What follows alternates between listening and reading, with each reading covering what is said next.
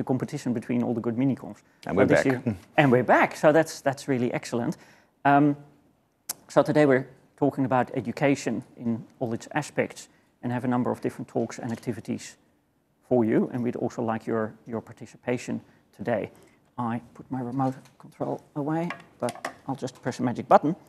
Um, so in my talks later, I'll do a couple of activities. And one thing I'd like you to think about, because many of you might consider yourself programmers, I'd like you to play that little game along the way. So memorize that or write it down. It may look familiar to you. It may be familiar to you under another name. Just scribble down the rules and see if you can write me a little program that does that. Okay? And there's a point to this. There really is. Um, the other thing I'd like to say to you is a, is a little puzzle. I'll give you that in, the, in, a, in a break later. Okay? So first up, we have Roland Gesthuizen, who is my um, co co-worker, co-worker, co organizer, minion, um, co-minion. I like that. Um, on this uh, on this mini conference, and uh, and Roland and I have known each other for years. He now works at Monash, doing cool stuff. So this morning we first look at the uh, at the cool stuff. Thank you. Thank you. Got a tiny J challenge there. Um, we switch to my slideshow. I'll give you a challenge. Have you got, have you got the clicker there? Oh my goodness, just works. Okay.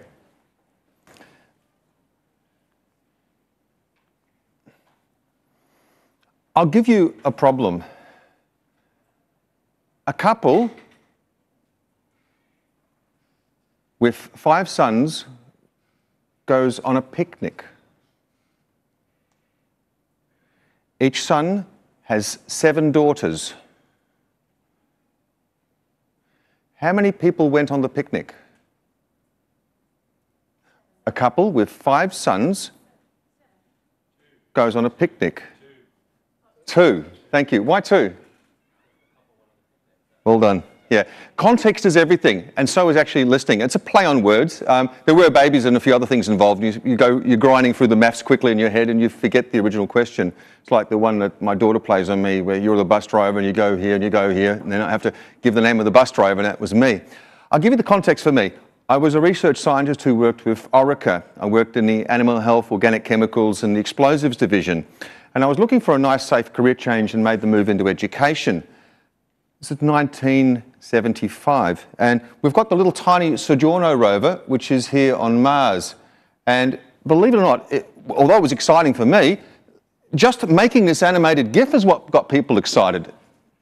And the sort of thing that we see now with lolcats bouncing around. And I remember giving a presentation at Geelong College, and it was a bit like Harry Potter, where you had to stand on and have your dinner set.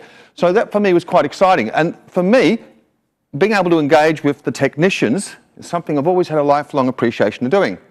So I'll give you a bit of a snapshot of what my school was. This is Westall Secondary College. Um, to the north, we've got this factory that made Stobie poles and um, lots of asbestos would blow off it in the summer. Um, we have um, school flags. Um, over 80% of the students in the school don't speak English as their first language. I spoke Dutch and ik kan maar Nederlands praten. Niemand hier kan maar Nederlands verstaan. So I was in a minority. Um, this is Alex. Alex used to work at the Volkswagen plant, which closed down. A lot of vehicle assembly plants are closing down in the area. And um, he was able to help me with a number of things you'll see.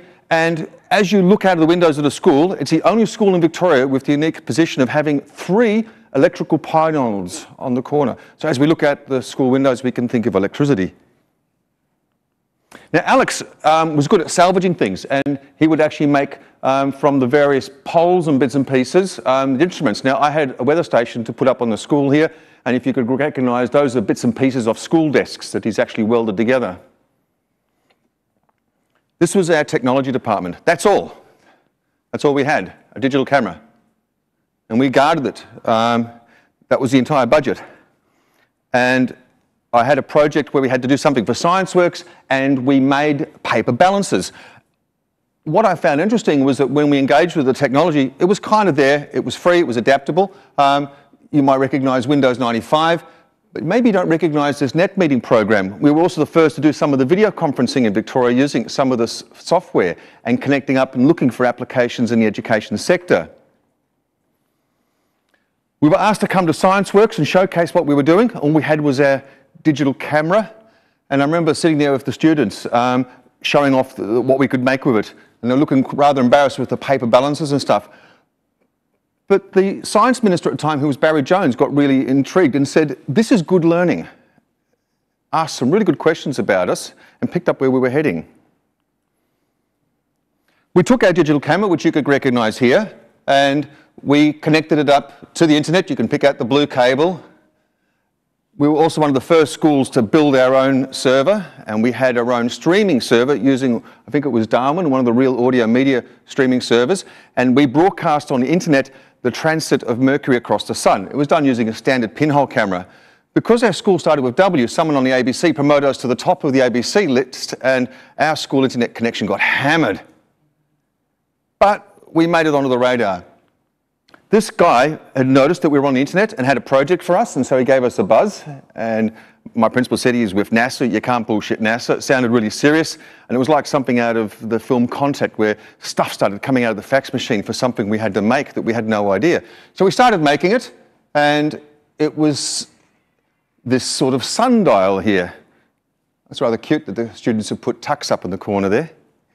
And it was something to do with uh, watching the sun shadow, maybe a student project. So we mounted it underneath our radar dish here. This was just opposite the server room, and we got this up and running.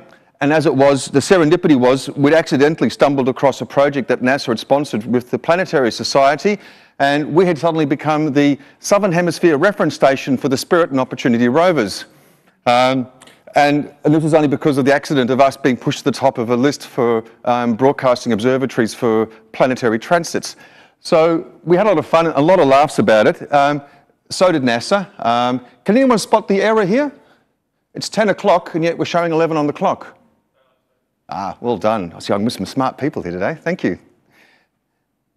So on the back of the rover is a sundial, and we were actually part of a project which was comparing well, not really the sun, but getting school kids to think about the different planetary times in the planet Mars, which has an orbital period of around 23 or 25 hours. It's one hour difference. But over a fortnight, that would creep, and day would become night, and night would become day.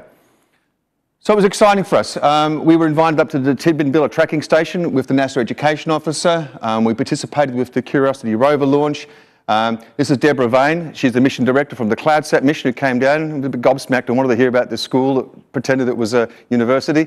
Um, and um, she showed us the different um, sundials and the other projects that were running. Um, she was fascinated. It was like a cargo cult because we had all these cardboard satellites hanging in the, uh, in the window there. And so she really got connected to that and said, you should see some of the models that we make. I just noticed the pizza boxes in the bin there, so he must have been celebrating. Um, and I was invited to give a talk at uh, NASA JPL about the uh, work that we're doing with um, space science with our students and the modelling. And the chap over here, it's his job to make these models. This is one of the models that I made uh, two years ago for my students. We took a cardboard car, uh, we added a Arduino control unit to it and a traffic system. This isn't just light sensing, it's actually trying to detect with the infrared controller what the vehicle in front's doing, indicating left, stopping, braking and turning. And we're, I wanted to put the wires on the inside of the car, but because of the anniversary of the DeLorean and Back to the Future, the kids wanted the wires on the outside where they're meant to be, so that's how we made it. I'm now at Monash. I've had this history of teaching and education, and Monash have snatched me up into the STEM method area. And there are some big things that have been happening at Monash. Number one, um, I was really put off by the fact that um, the software that they were using wasn't really preparing kids for the real world. And one of the big pushes I've been doing um, was trying to include more free open source software. Um, I was passionate about the idea of actually putting in the minds of kids that it wasn't just a suite that we're bought into, there's a whole range of different things that we could be doing. And part of that includes the use of free open source software. So Last year was the first time that we actually installed OpenOffice onto the computers in the education faculty. And the big change also was that we started writing into the Victorian curriculum. So now there's no reason that you can't actually be using that.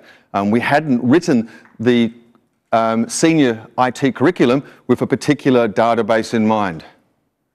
Okay? Um, we've made the switch to using SQL, and you're a big help with that with some queries I had last year. Thank you, Ian. But also um, Python having a real traction as an actual programming language that we could be using, and um, LibreOffice as well. Um, it, we don't have to do it, and it doesn't have to do everything, but it does enough to be able to us to assess, park, and move the students on. And for me, it's been empowering that I can actually do that with the pre-service teachers. Well, why would we be doing that? Can anyone guess? Why would it be important to teachers?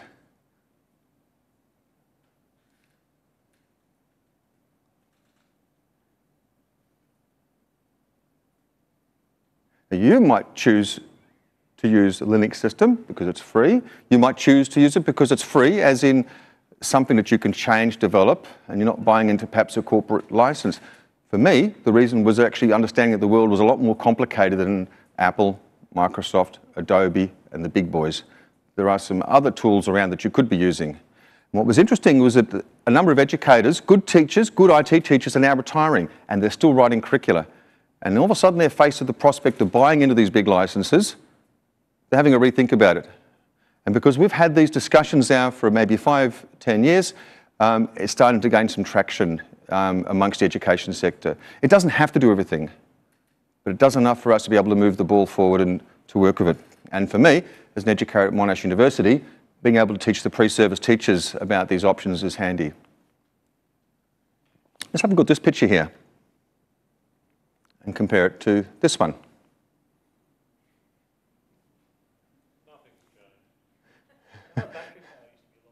so, what's different?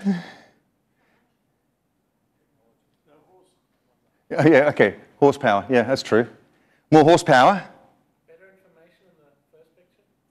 Yeah, yeah, probably a bit better information. But it depends if they're all reading the Murdoch press there on their phones. Yeah. It's a good question because quite often we'll criticise these people for not having conversations while they're standing there, and then the reality was there wasn't much conversation probably happening over here either. Um, I love that when the parents are complaining we should take away all the kids' phones. Um, imagine if you ran up the street there and took away all their newspapers and said, just start talking. There's a time for everything, and there's a space for everything. Computer science is no more about computers than astronomy is about telescopes. And it's easy for some school teachers and principals, administrators to forget that because we get caught up with the, the hardware. The idea that um, if I just had an observatory, that'll be about teaching astronomy. No, that's just a vehicle for us to, to doing stuff. So what kind of things are we doing in the education faculty? Well, this is one of the mixed reality um, setups that we have. Um, this is done with the uh, primary school teachers in the part of their training. Um, it's using some uh, VR apps, and you can actually pick up here a teacher who's actually drawing on a picture, colouring in something, and then the Mini Cooper would actually appear that colour. Um, it's not hard to imagine how you might code that, and it just begins to make you realize that you're actually an author and you're creator of this. The idea isn't so much to play around with the VR as it is for the students to reimagine themselves as authors and contributors rather than consumers. We don't have to play with someone else's toy. I can actually make the toy. And the maker movement has a close connection with some of the free open source stuff that's actually happening. And one of the projects I'm working on is actually set up some maker spaces at Monash.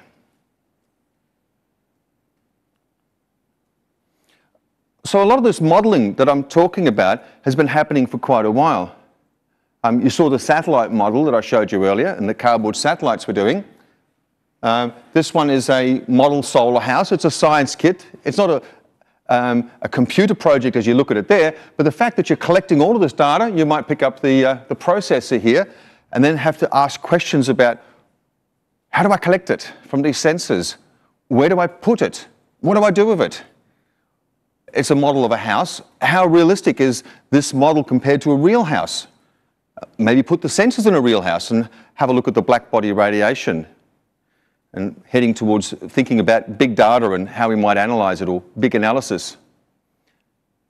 On the right hand side, though, um, I've got another picture. Does anyone recognise the museum? Ooh, okay, Tasmania? Mona, thank you. And the Mona Museum? Yeah, that's right. And Mona is a great museum in Tasmania. This is, um, can you guess the, the background? The background, which painter that might represent the studio for? Pearl earring? Dutch, yeah. I'm only guessing because you've got the orange shirt on. You must be Dutch. Uh, I'll click on the link. Can I move on to the link? If that'll fire off. Will, will it break?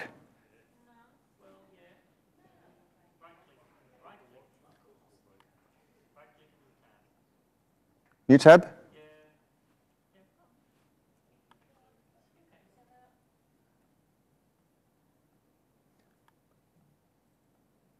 Okay.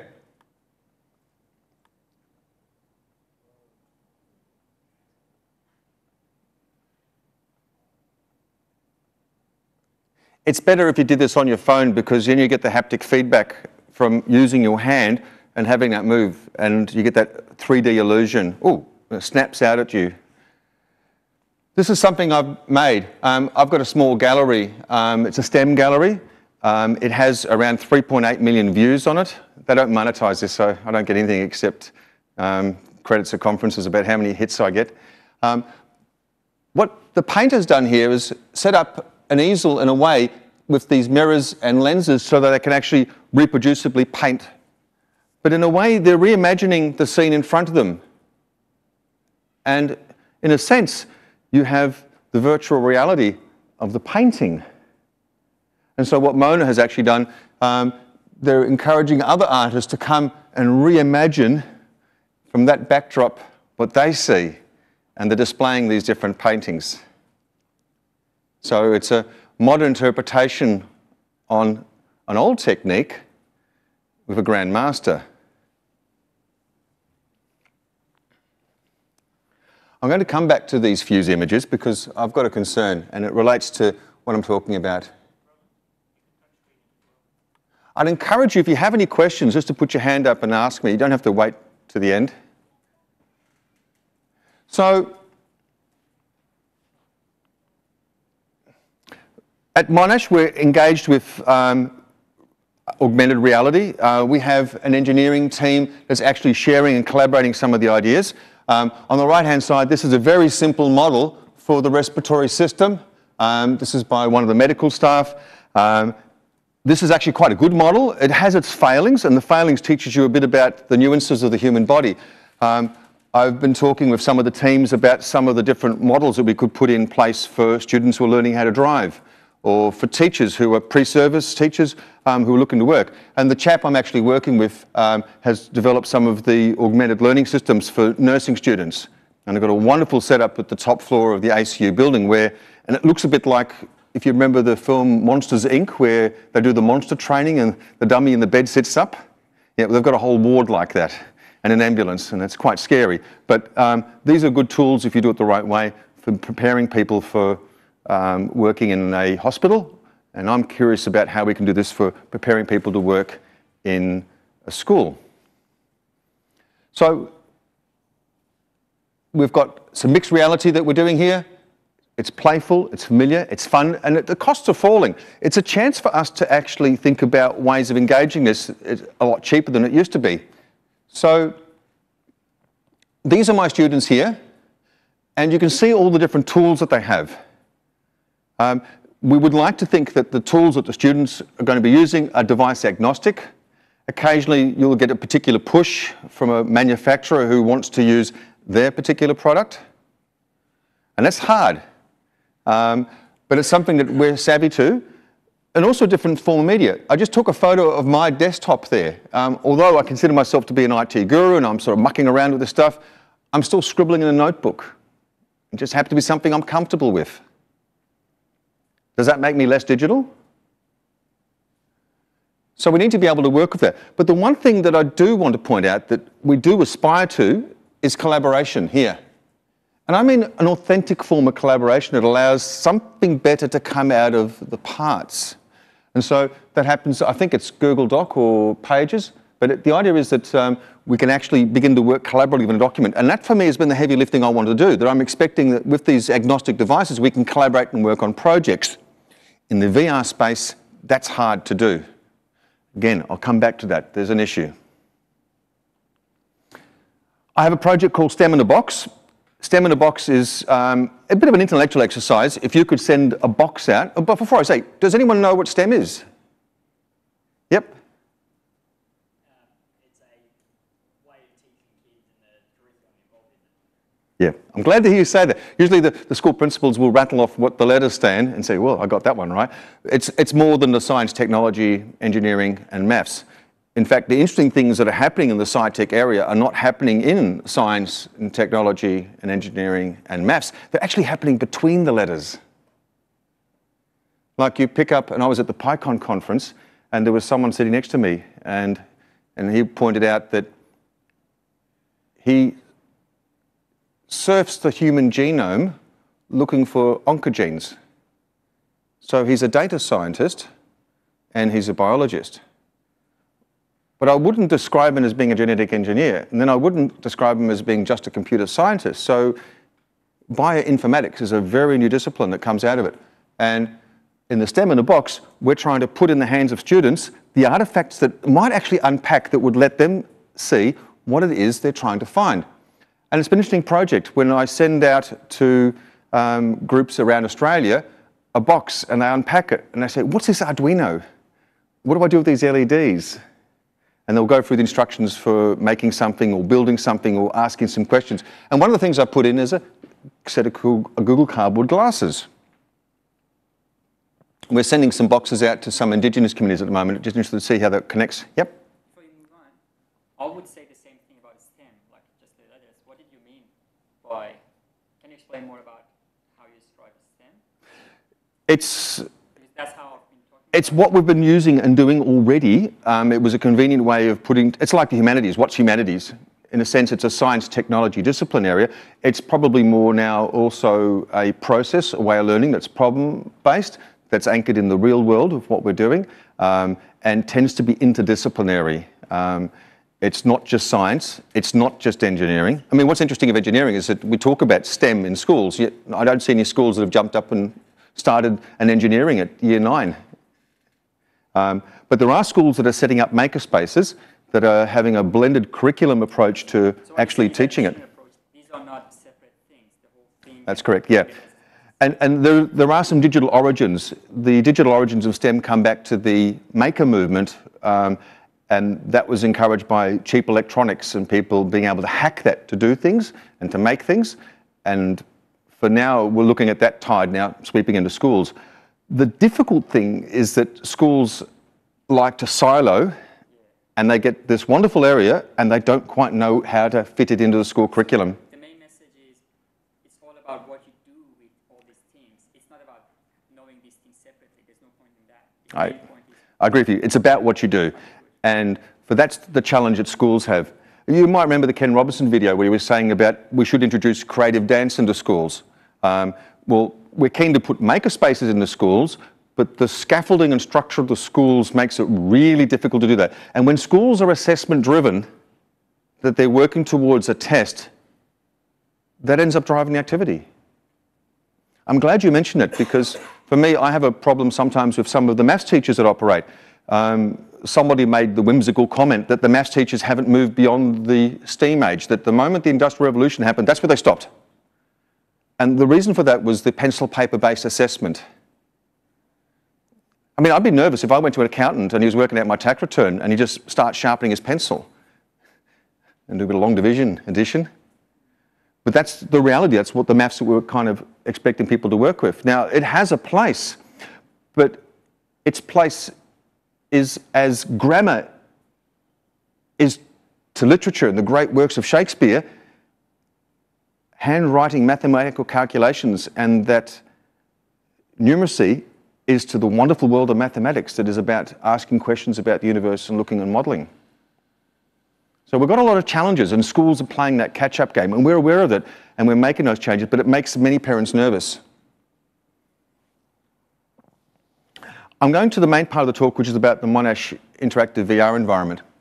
And you can actually go to the website. If you've got a computer, I'm happy for you to jump in and have a sticky beak. Um, Monash EDU MIVP. There are some good examples there about what we can do. I'm going to give you one journey that I took of a group of students, and this is an Australian first, possibly a world first. They're the technical specs. I'm going to ask you, can you see on that, how many monitors are in this room?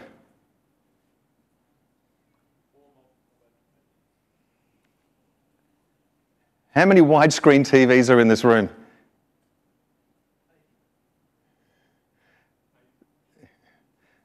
That's right. that's, that's one hell of a kick-ass room. Um, it could barely fit in this space here.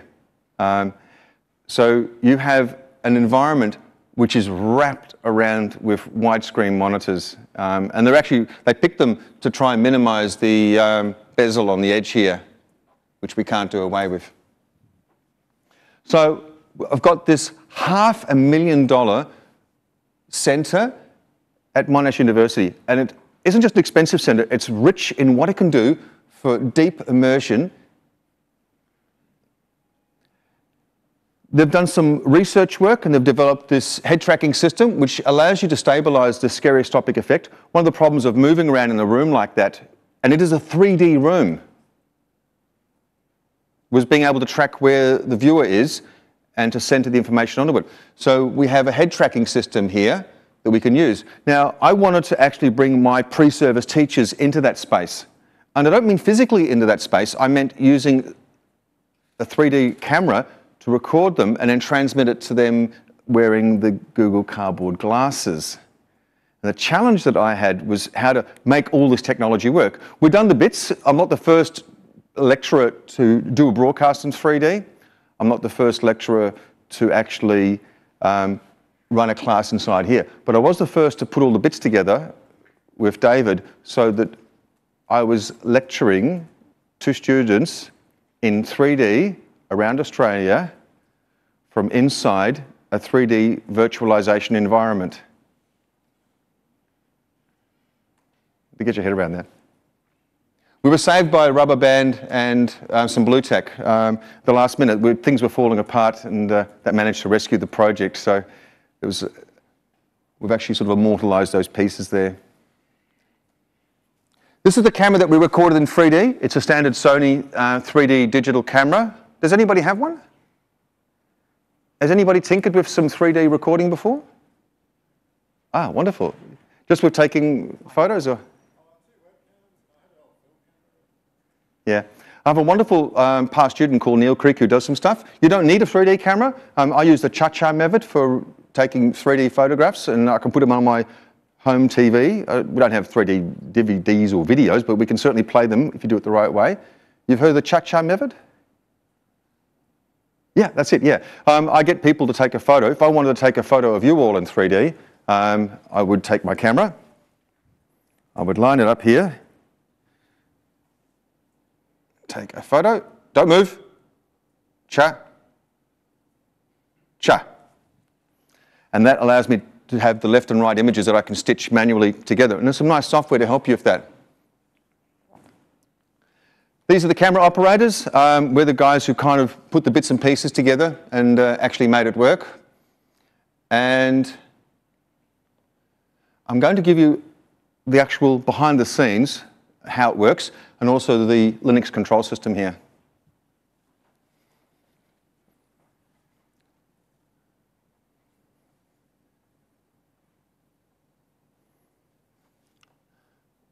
Where's the mouse?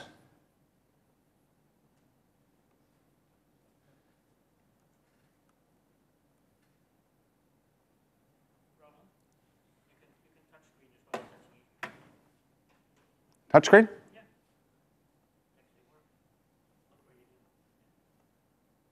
Oh, no, I think I'm about to do something else there.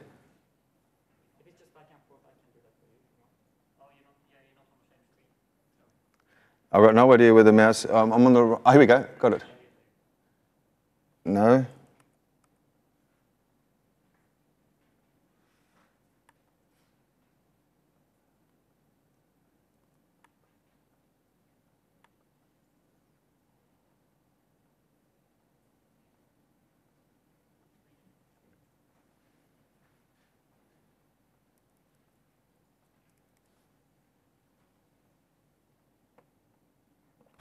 And it has a 3D setup here, so it's actually capturing left and right eyes.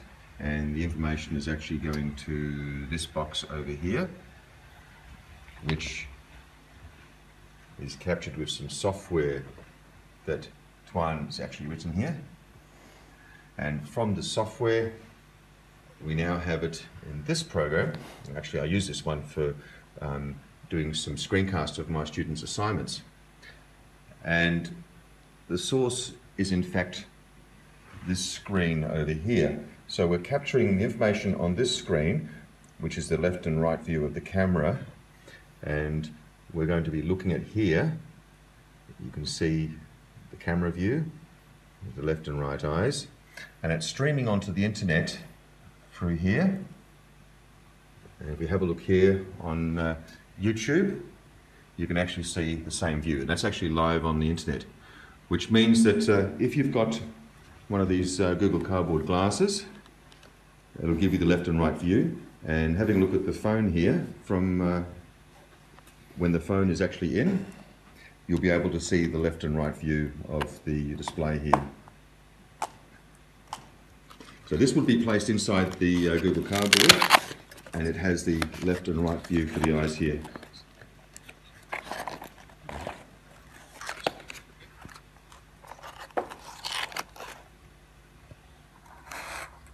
And that's how we're going to work the information from the real world to your virtual world. I just find it ironic that we have here a half million dollar centre and I'm using $4 cardboard glasses. But it's what we do. Oh, thank you. Oh. Monash University is Australia's largest research intensive university. Thank you.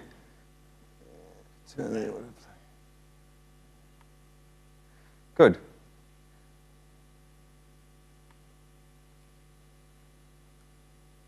So the software that you heard me using was called Open Broadcast software. It's free, it's open source, and what's really good, we can adapt it to what we want it to do. Um, we can easily write the actual profile that allows us to capture from the 3D camera and do the mixing that we need to stream it out just directly on the YouTube.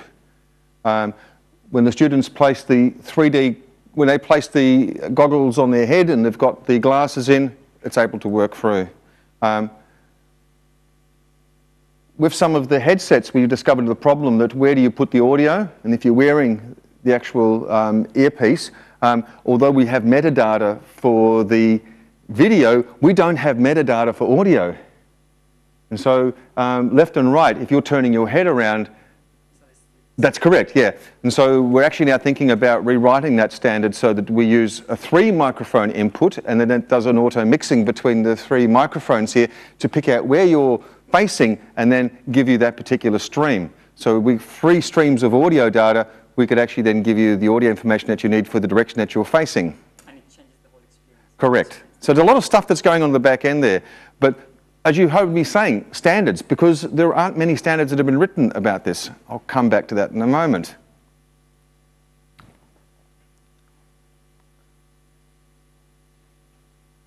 This is what the broadcast looked like. Um, it's a standard broadcast. We did it with a, a, banner here to hold, and then it's split into the left and right channels. You could have just seen that there. Um, and we did it using YouTube. Um, we've tinkered with the idea of perhaps doing it ourselves. It just happened to be convenient. That was one problem. We didn't have to reinvent about the streaming. So we got that up and running. Um, it's interesting when you look at the actual narrative there. We hadn't anticipated some of the problems that the students had. Um, look at the right-hand side. Um, that's one of my students around Australia. Um, she was having fun doing it. Um, unfortunately, the kids had run off with the lenses out of her goggles. They thought they were fine. You could sort of pop in like molecules and run around the house. And Answered them maybe.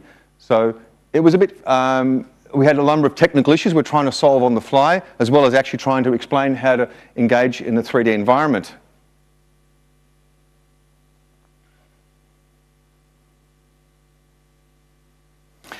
This is one of the 3D visualization walkthroughs. I'm going to now switch to this video by David, and this is where he's actually in the center, and you get to see what it looks like. Up.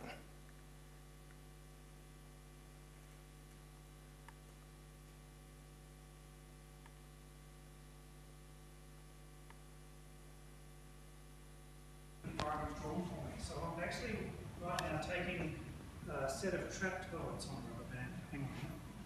I'm taking a set of tracked glasses off the uh, camera and I'm putting them on here so that you can see them. Now what, what happens uh, when we do this is that you can see as I move, the 3D environment moves.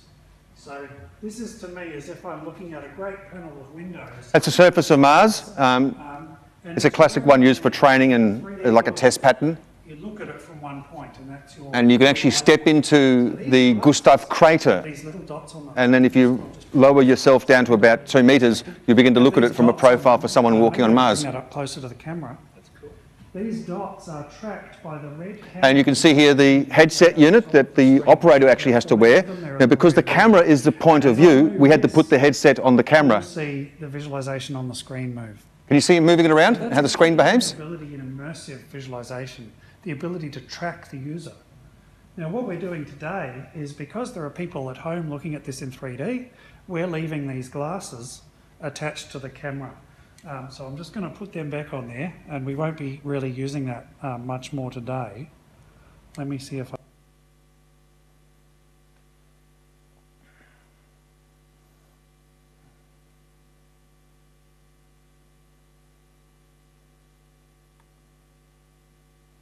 So I'll explain this picture here. Um, it's an NMR scan of a newborn rabbit that's taking its first breath. And that's really powerful if you're in the medical area because for the first time you begin to look at some of the physiological changes that happen at the time of the birth of a baby on how it fills its lungs and how the respiratory system begins to kick in. It's a moving image in 3D. It allows us to gain an appreciation as to what's happening in the body. And it's floating in front of me, and I'm actually pointing it out and walking around it with my students.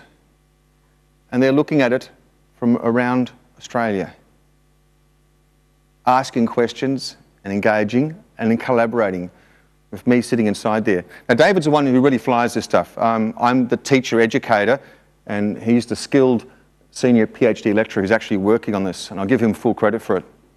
He also gave me another picture here, I'll show you.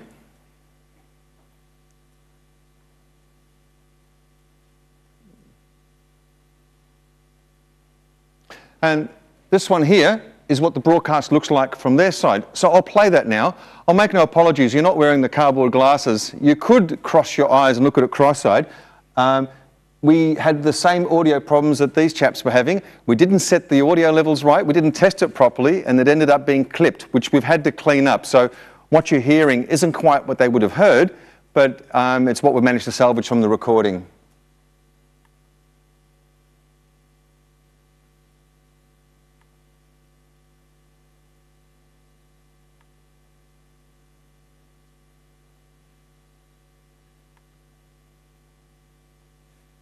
While I'm, pass, while I'm playing that, I'll pass around the uh, cardboard glasses. So, um, what I want to do is talk a little bit about the, the system we're in and what we use it for at Monash, but also run through some demos. Um, so actually what we'll do first is quickly go through this one that's up on screen, uh, and then I'll, uh, you'll be tired of looking at that, so we'll bring something else up while I talk about the system. So this is a 3D visualization of Mars. I'm putting my glasses on here so that I can see it in 3D, and the camera we have here is recording in 3D and streaming that to you, uh, hopefully. Um, I'm probably going to be a bit of a silhouette. You want me to keep walking over? I'm getting stage directions here. So um, uh, what we can see in here, all of those in the cave have their 3D glasses on, so they're seeing a different image in the left and right eye, which gives the stereoscopic effect. And hopefully that's uh, translating to you with your Google Cardboard on. Uh, Get you to make a photo of me So- in a sec. Uh, Go for it. what we're looking at here uh, is a, a historical data set of Mars. So Global Surveyor orbited Mars for many years, and it took three years to radar range the surface. So we have the uh, we have the depth map of Mars here, and what I can do is, um, if I can wake up my controller, is uh, is fly down um, and have a look at Mars. Now, people in the cave might find this a little bit disconcerting, um, and hopefully.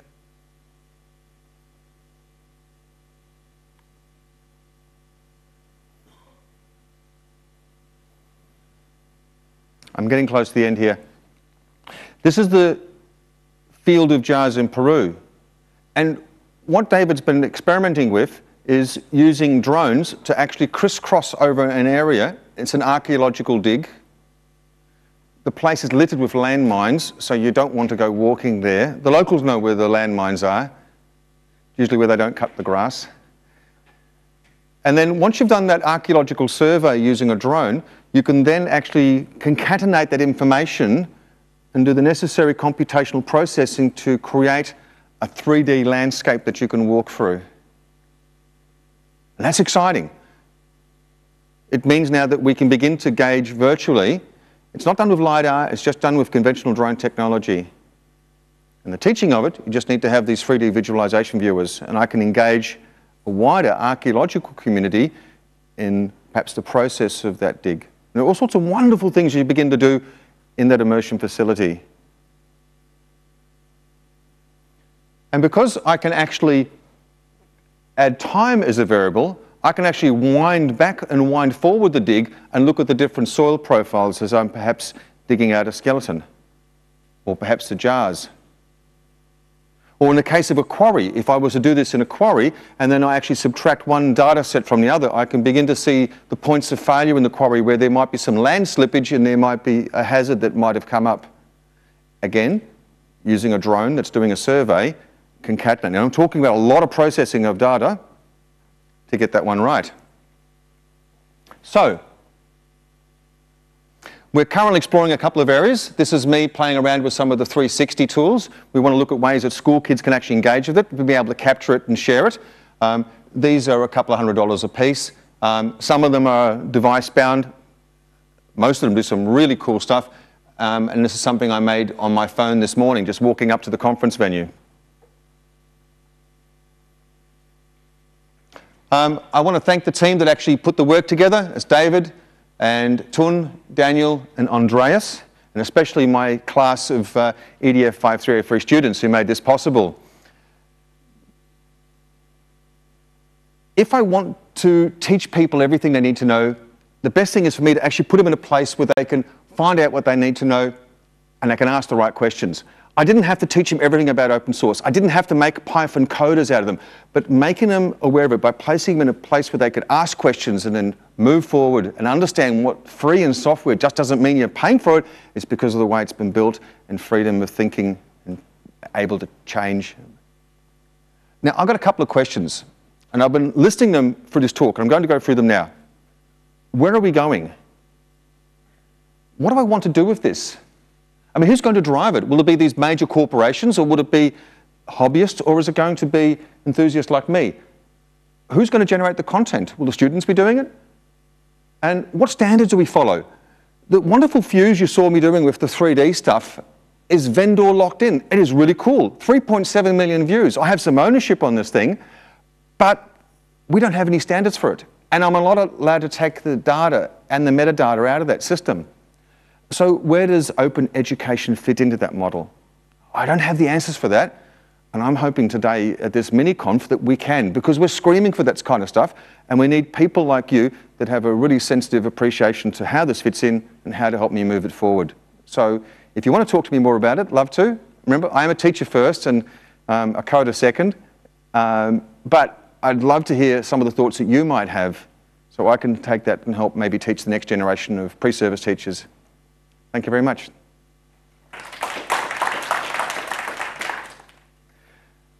Um, does anyone have any questions you want to ask? Or yes, That um, kit, where can we get one? which one? The uh, the 3D kit, the glasses. No, no, no, Sorry. Oh yeah, okay. Well, I'll repeat the questions for the audio. So you're asking. Can I ask you to repeat the question again? early in your presentation you had a, a box with, with, which Ah, that was yeah, the stem in a box. lots of components which um, had a model of a house. And that's coming up in the curriculum this year. It's coming up as a curriculum resource. Um, if you contact me off list, I can send you some information. I'll be honest with you, I buy a cardboard box and I fill it up with stuff from Jaycar. Um, the question, though, for teachers as we're building it is what do we put in? Because that says everything about the issues and the values that you might have, and also the, maybe the gender prejudices you might have. For the students, though, it gives them empowerment about thinking this isn't something I can do at school, I can take it home, it's mine. Um, what surprised people at Monash when they said that um, my budget was a couple hundred dollars, they thought that was it for the box. No, I actually bought all the boxes, about 24 of them for that. Um, just blew everyone out the water how much the price has changed. So there's an economy lesson in it as well. But if you contact me afterwards, I'll give you my business card. I can uh, involve you in that. Anything else? Thank you very much.